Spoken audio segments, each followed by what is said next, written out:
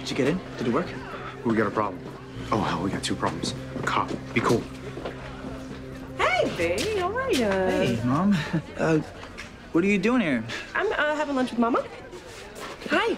Uh, this is Vico. How are you?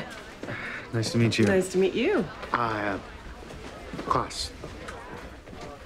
New friend? Uh, no, not really. How are you? I miss you. I'm good. Come to have dinner with us tomorrow at the house? Tomorrow I? Yes, can't. please. Come actually. on. Why No, not? I have a getting to know you thing with Dad and his girlfriend, so. Your dad has a girlfriend? That's nice. How long has that been going on? Uh, I don't know. Well, it must be serious if he's asking you to meet her, right? Well, we, we, we met before. We just haven't. Oh, I see. She's been by the apartment. Is, is she spending the night there? Mom, I don't. No, no. Be, listen, you know, you're living with your dad, and I just, I want to make sure that it's a, it's a healthy environment. Yes, okay. I'm not gonna get in the middle of Okay. this. So if you want to know about Dad's girlfriend, ask him. Will do. Okay. How old is she?